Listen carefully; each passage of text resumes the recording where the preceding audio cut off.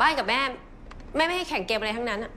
คุณแม่คิดว่าเดี๋ยวนี้เด็กเอาเงินไปโรงเรียนวันละหนึ่งร้อยบาทมันพอจริงๆเหรอครับ เดี๋ยวนี้โอมก็ทำเงินได้ตั้งหลายหมื่นต่อเดือนแล้วนะครับ นี่มันอะไรกันนะโอมตั้งคำถามผ่านคนสองรุ่นว่าสุดท้ายแล้วเกมเป็นตัวปัญหาสำหรับเด็กๆ จริงหรือไม่ นี่คือไอเดียตั้งต้นของเสือยันยงคุรุอังกูล ผู้กำกับภาพยนตร์ ที่ทำให้เกิดหนังเรื่อง Master Gamer เสนอมุมมองคนรุ่นใหม่และรุ่นใหญ่ที่มีต่อเรื่องเกม ได้ทับนักแสดงร่วมถกและแชร์ไอเดียในหนังเพียบ ทั้งเติร์ดละพัท VBNK48 และตนต้นหน เป็นตัวแทนคนรุ่นใหม่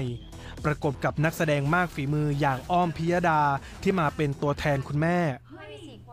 ซึ่งในมุมของผู้กำกับภาพยนตร์ เสือยันยงก็ยอมรับว่าครั้งหนึ่งเคยเป็นเด็กติดเกมมาก่อนทำให้เห็นทั้งข้อดีและข้อเสีย แต่ก็มั่นใจว่าเกมไม่ใช่สาเหตุหลักเสมอไป เวลามีเหตุรุนแรงเกิดขึ้นความผิดที่พี่เสือใช่ไหมคะมันก็ไม่ได้เกิดขึ้นจากเกมบ่อยนะฮะพี่ก็ไม่รู้เหมือนกันว่ามันเกิดจากเกมจริงหรือเปล่ามันมันมันมันมองแค่เกมไม่ได้ มันอาจจะต้องไปมองแบ็กกราวด์อื่น ๆ ของ ของคนคนนั้นน่ะว่าเขาอยู่ยังไงเพราะคนติดเกมก็เยอะแยะ ไม่งั้นก็ไล่ฆ่ากันเต็มไปหมด ถูกไหมฮะ ต้องไปต้องไปดูแบ็กกราวด์เขาว่าเขากดดันอะไรมีเรื่องอะไรหนักหนากับเขามากกว่าการเล่นเกมหรือเปล่า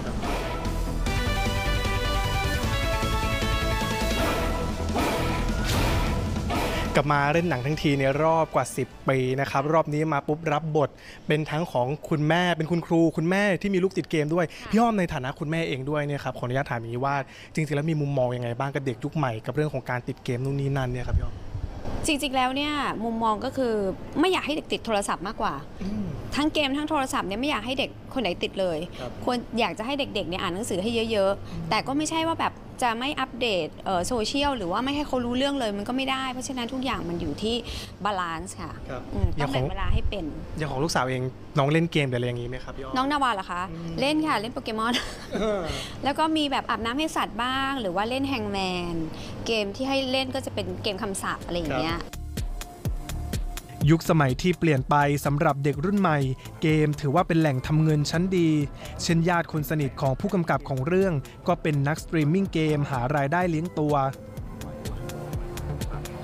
อีกเคสที่ชัดที่สุดต้องยกให้อดีตนักกีฬาอีสปอร์ตชื่อดังอย่างกิจงาย ที่ปัจจุบันแม้จะวางมือแล้ว หากยังคงมีงานโชว์ตัวในฐานะนักกีฬาชื่อดัง ทั้งยังเปิดช่อง cast เกมอีกด้วย ซึ่งปัจจุบันตลาดเกมออนไลน์มีผู้เล่นชาวไทยมากถึง 27 ล้านคน ทำรายได้สูงกว่า 27,000 ล้านบาท จนทำให้ตอนนี้หลายมหาวิทยาลัยเห็นช่องทาง เปิดหลักสูตรสอนเกี่ยวกับเกมมากขึ้น ก่อนที่ผมจะมาเป็นนักกีฬาอีสปอร์ตมืออาชีพได้เนี่ยผมก็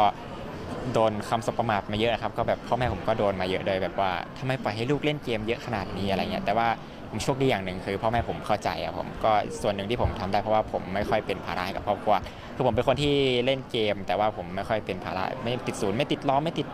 ไม่ติดแบบว่าทำให้เป็นปัญหาครับพ่อแม่ก็เลยแบบไว้ใจให้เล่นให้ลองแข่งขันดู แล้วพอผมแข่งขันได้แบบประสบความสำเร็จปุ๊บพ่อแม่ก็ภูมิใจตามส่วนผมเนี่ยที่เป็นนักพากมามันก็แบบว่า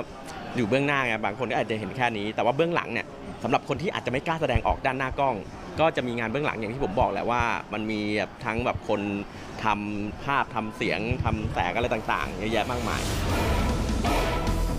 ล่าสุด e-sport เองยังถูกบรรจุให้เป็นหนึ่งในชนิดกีฬาที่จะแข่งขันในงานกีฬาเยาวชนแห่งชาติครั้งที่ 36 เป็นครั้งแรก ซึ่งจะจัดขึ้นในวันที่ 21 ถึง 26 มีนาคมนี้ที่จังหวัดตราด